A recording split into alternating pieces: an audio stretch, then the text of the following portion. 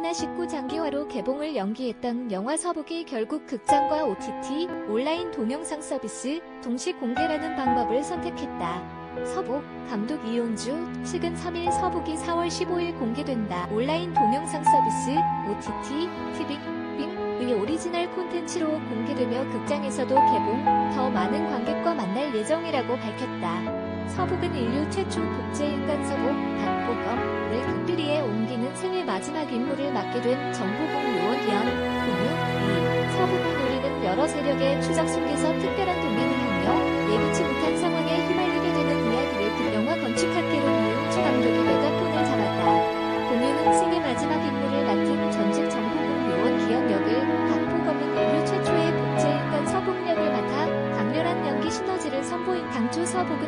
12월 개봉을 계획하고 온라인 제작 보고회까지 마쳤으나 코로나19 3차 대유행으로 인해 개봉 일정을 잠정 연기한 바 있다.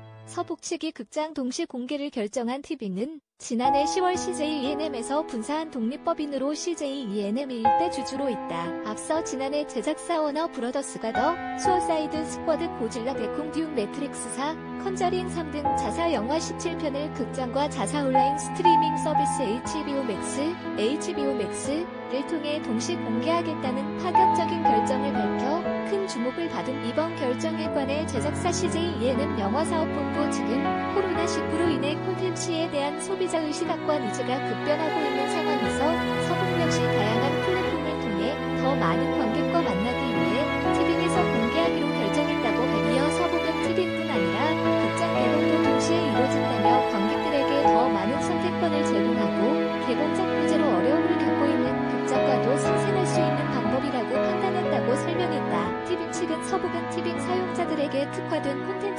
경험을 제공할 수 있는 작품이기 때문에 과감히 투자를 결정했다며 다양한 장르에 걸쳐 오리지널 콘텐츠를 지속 확대해 나갈 계획이라고 밝혔다.